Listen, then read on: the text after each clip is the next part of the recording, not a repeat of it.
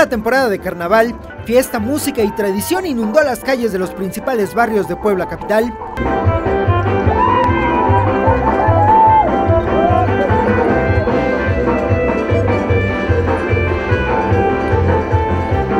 Así al ritmo de la música, las máscaras, las plumas y hasta los amores futboleros se hicieron presentes este fin de semana. Catrines, arlequines, diablos y muchos personajes más mostraron sus mejores pasos ante la animosa multitud.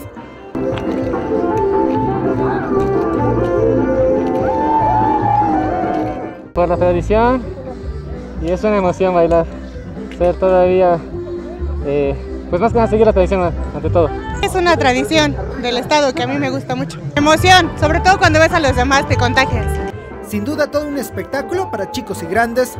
Qué bonito que hagan este tipo de eventos para todos nosotros, para todo el público que pueda venir a verlo.